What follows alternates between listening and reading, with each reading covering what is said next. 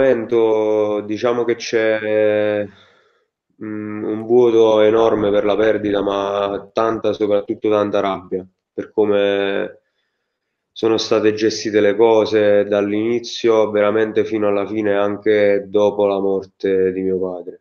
Dolore e rabbia nelle parole di Marco Caterino, il figlio di Francesco Caterino, il professore dell'Istituto De Nicola Sasso di Torre del Greco, morto di Covid all'età di 59 anni nei giorni scorsi al Covid Hospital di Maddaloni.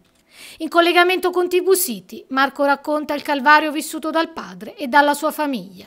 Una tragedia che ha colpito due comunità, quella torrese e quella di Capua, dove il docente viveva.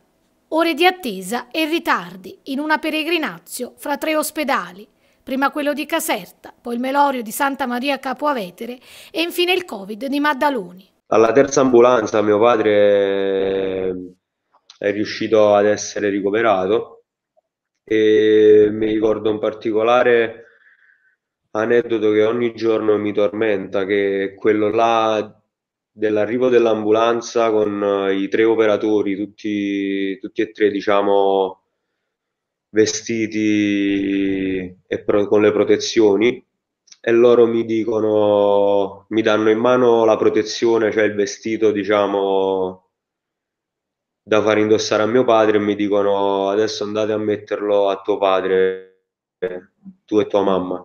Quindi loro non si sono neanche avvicinati praticamente è stato mandato inizialmente a Caserta, dove è arrivato verso mezzogiorno. Io poi mi sono purtroppo in un momento di, di rabbia, mi, mi, sono rotto una mano e sono andato proprio a Caserta. Sono andato a Caserta al pronto soccorso che al momento non era ancora totalmente chiuso per Covid, non so adesso come siano, e ho trovato dopo due o tre ore mio padre ancora lì nell'ambulanza fermo perché l'ospedale non voleva accettarlo perché a quanto pare non c'erano i posti anche se pare che i posti ci fossero. 5 ore praticamente a Caserta fuori l'ospedale per poi portarlo a Santa Maria Capovetere dove è stato praticamente altre 4-5 ore prima di essere accettato perché l'ospedale Covid non era ancora, non era ancora pronto, non era ancora partito, diciamo. Infatti mio padre è stato il primo paziente dell'ospedale Melorio di Santa Maria Capavete per Covid. Poi mio padre ha continuato a peggiorare e ha dovuto mettere il casco, diciamo, per, per, per sempre per l'ossigeno solo che lui scelse di sua iniziativa di farsi intubare perché non sopportava la presenza del casco. E visto che Santa Maria, l'ospedale di Santa Maria Capavetere non era, non era, diciamo, non aveva la terapia intensiva, comunque fu trasferito a Maddaloni, l'ospedale Covid di Maddaloni, dove praticamente fu intubato e gli fu indotto il coma farmacologico e è stato diciamo 4-5 giorni così fino al, al, suo decesso. Dopo la morte di mio padre sono morti in quella stanza anche altre 2-3 persone, sempre della stessa età.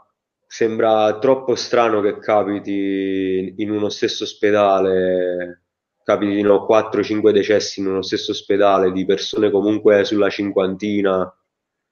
Nessuno aveva più di 60 anni, ecco, diciamo ci sono molti dubbi per questo protocollo, per, per persone che comunque si salvano nonostante questa polmonite, anche se sono più anziane. Mio padre comunque aveva 59 anni, ma sembrava comunque ne avesse 10 in meno.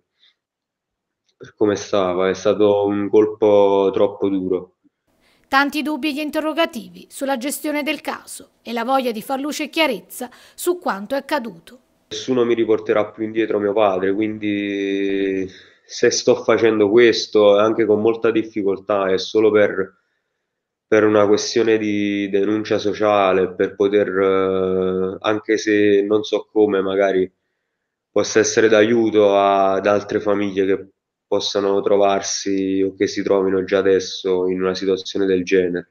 Purtroppo di Covid si muore e e chi dice il contrario, spero che, che non debba mai affrontare una storia del genere.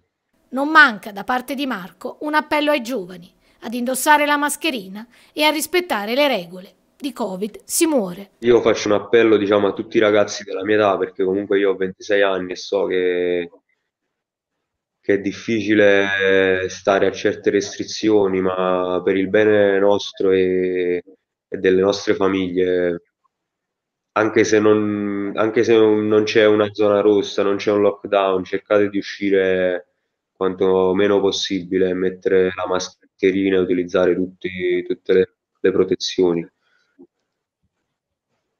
per evitare delle storie così.